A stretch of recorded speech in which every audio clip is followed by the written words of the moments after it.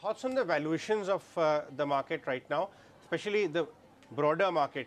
Because there was a very decent correction which played out in mid cap and small cap ever since commentary on uh, broader market valuations came in from the regulator.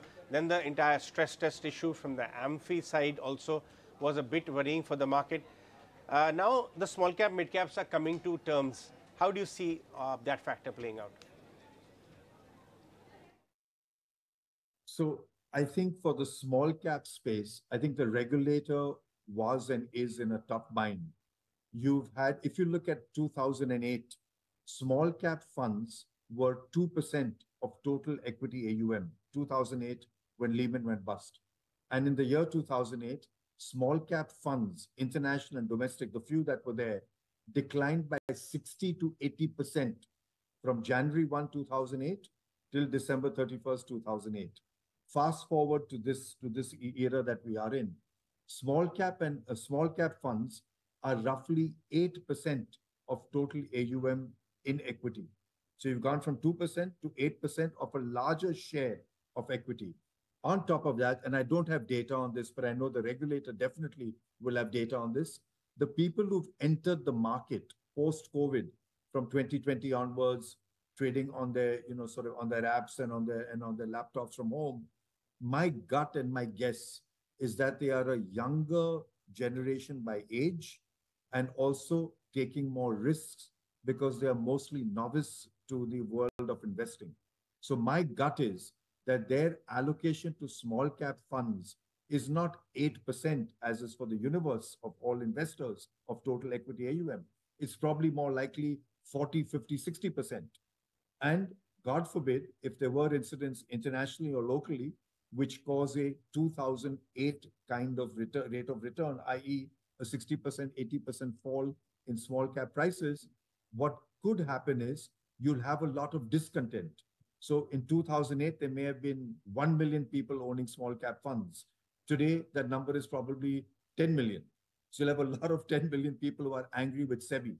And it's not the fault of it's not the fault of SEBI. Like SEBI correctly said, the job of the regulator is to frame the market, not to tell you whether shares are expensive or not. So SEBI has done the smartest thing possible. They have sent a torpedo, not towards the ship, but across the bow of the ship. And they've sent a warning for those who care to listen and for those who wish to listen that listen, be careful. Valuations are a little stretched, and illiquidity is a massive concern in small cap funds. We had done our own analysis. Actually, Personal FN had done it, and we've looked at the data. When Personal FN did this analysis on small cap funds, they found, and I'll give a name here Nippon, one of the top five.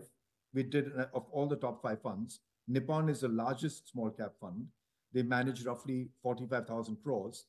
One of their top 10 holdings would take 3,000 days to exit, 3,000 days of trading, which translates to roughly 15 years of trading to exit one stock in their top 10. And if you look at it for all of them, HDFC, Kotak, SBI, uh, uh, Nippon, I forget the fifth one, but you look at all of these five, they all have got a lot of illiquid stocks.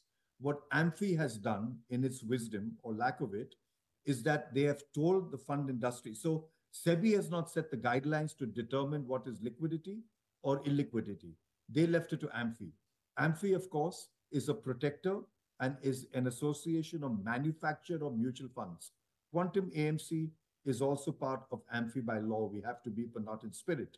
And when we do our own stress test, we use different criteria. What AMFI has used is take your 20% of the portfolio, which is most illiquid, and don't count that. just pretend it doesn't exist. And then tell me what your liquidity is. Now, just think about the sense of this, right?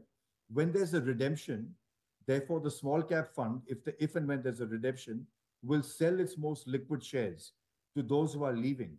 And the people who are staying in the fund, imagine that they'll be holding more and more illiquid shares in the fund so you're basically building up a time bomb where you're forcing retail investors, those who remain, those who are committed, to hold more illiquid shares.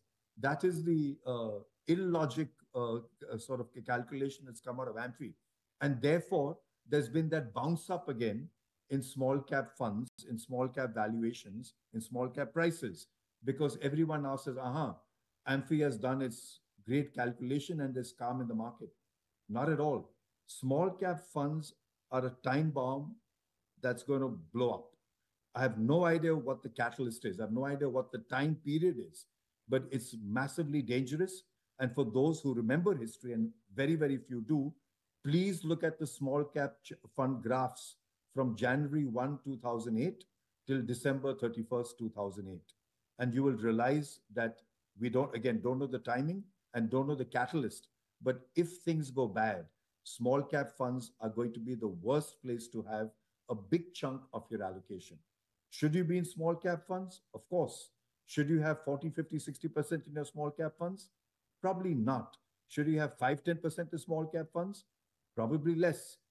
Yes, and you should have, and you should have small cap funds that are declaring liquidity on a proper basis, not this 20% illiquid stocks are exempt, are exempt. That's a bit crazy in my view. All right. If you like this video, then like, share and subscribe to ET Now.